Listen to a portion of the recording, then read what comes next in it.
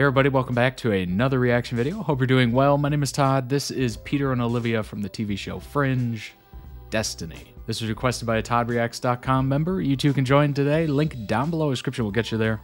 Go like the video if you like it. Subscribe to the channel if you're new here. Hit that notification bell.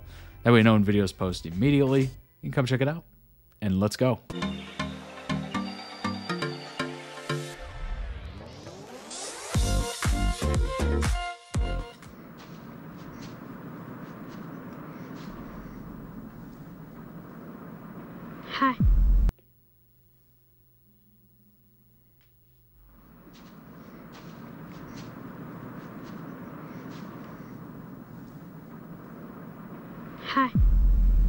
Peter? Hi. I was important to you, wasn't I? Is he one of your friends? Because I see the way you look at me when you think that I'm not aware. Peter Bishop, My name's Peter. Olivia Dunham. Mine's Olivia. And do your son and the girl know each other? No, he, he's not from here. It must be nice to know who you are. To know your place in the world. I'm not from here, am I? You don't belong here. You're not from this world, Olivia. I think young Olivia may have crossed over. I went somewhere. I went somewhere. If I'm right, Oh, and she has. Then she can take Peter home. This all began because a man came over here to save a boy. His name is Peter. And 25 years later, I came back to save that same boy. He's sort of the reason I'm here. Of the 30 children that William Bell and I experimented on, you were the first with the ability to identify things from the other side. We gave you the ability. Was it me who described it as a glimmer? Peter, you glimmered. Destiny, fate. Ask yourself why they picked you. I like to believe that nothing just happens. What did you do to me? That every event has some meaning, The picture of me and the device. What does it mean? some sort of message. You are important. It's you. What is happening? I did not know they were from somewhere else or experiment experiments were run on them. Like this is I've seen fringe videos before, but it's been so long that I can't remember anything. To me. What's going to happen to me?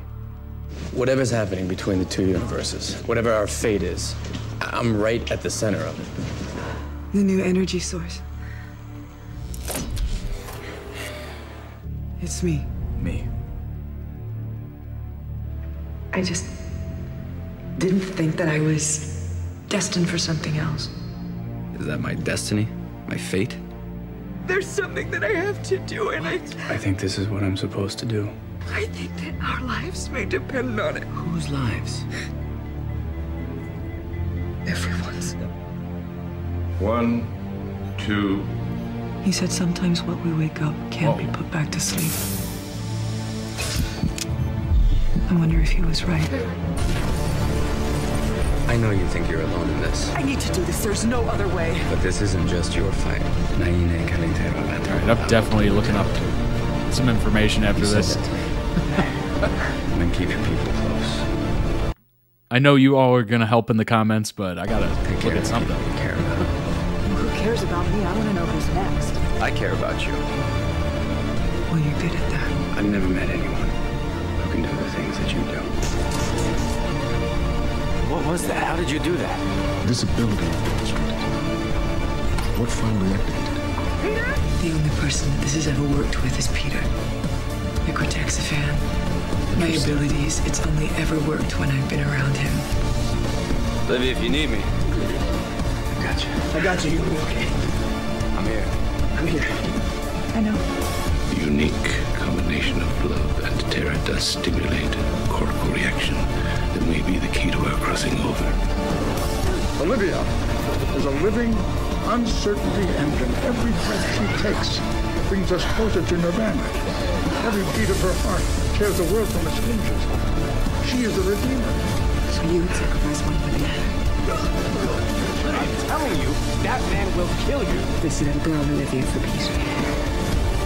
After thousands of others, it would have to be considered. You said Oh in gosh. every version of the future, I I would have to die. You sure you want to do this? Peter, what other choice do we have? Both feet in, that's what we said. We're playing the odds, Peter.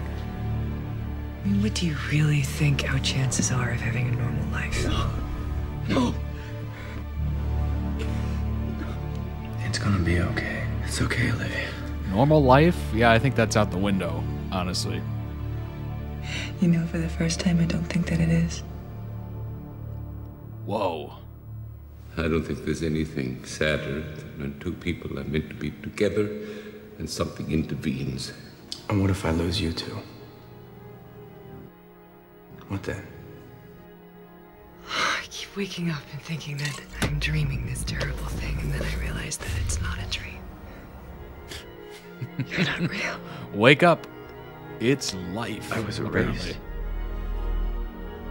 I never thought I'd see you again, Olivia. You. How long have we known each other, Olivia? It's like I've known him my entire life. Peter. I've always felt there are people who leave an indelible mark on your soul. Olivia. Worse for wear there. An imprint that can never be erased. Underestimated his attachments over there.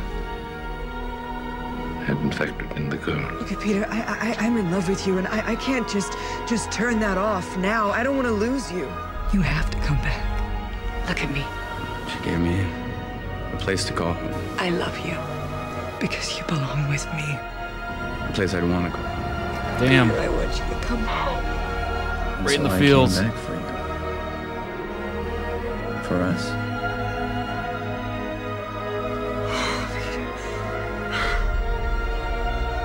I don't want to lose you.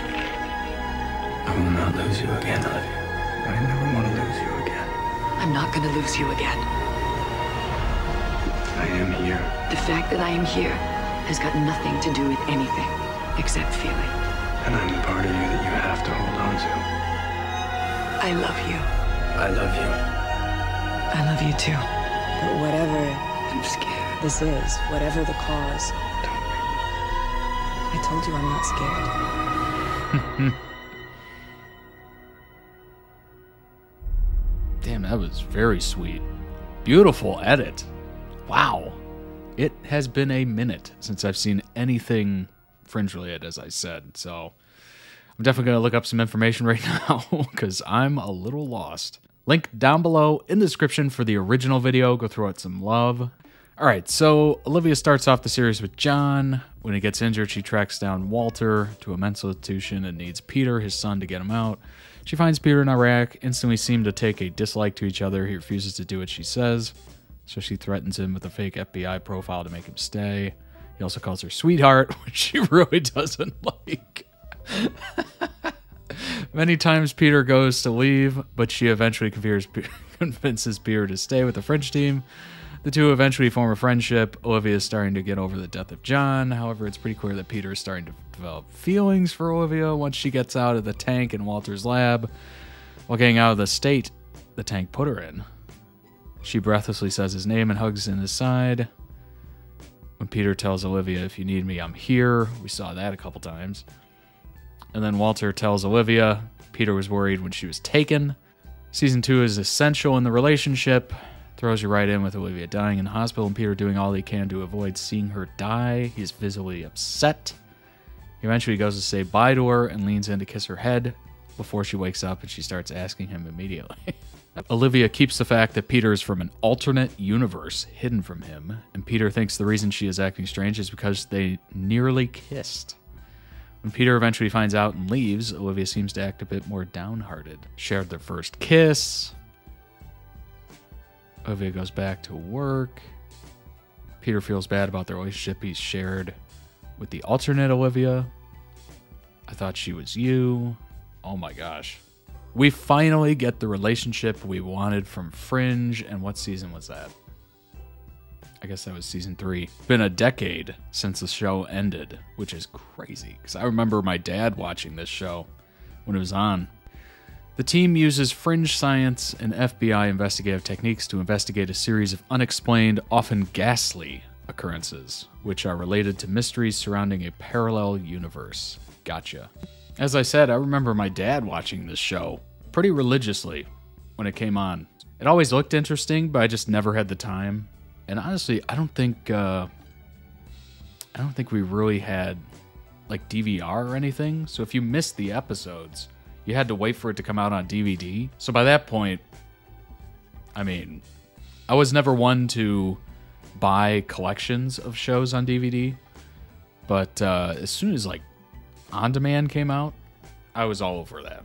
But of course, by the time that came out, there was other shows, and it's just yeah, shows pile on other shows, pile on other shows. How many of you have like a Netflix or whatever service you use list of things to watch, and it just gets longer and longer and longer?